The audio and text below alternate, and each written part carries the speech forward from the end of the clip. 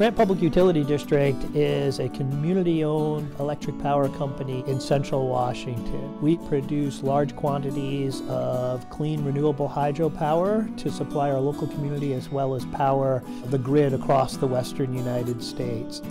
Grant's operation of the Priest Rapids and Wanapum dams comes with a commitment to environmental stewardship.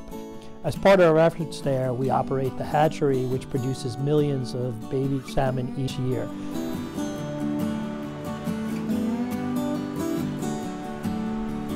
Here at Priest Rapids Hatchery, adult fall Chinook salmon begin returning in early September. The spawning occurs at Priest Rapids from late October through approximately the first week of December.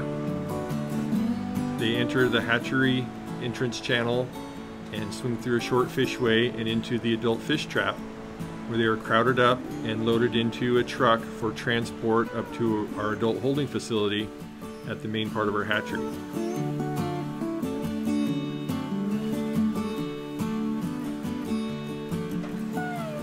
Once the fish are in the adult holding ponds, they can be checked on a weekly basis to see if they're ripe and ready to be spawned yet.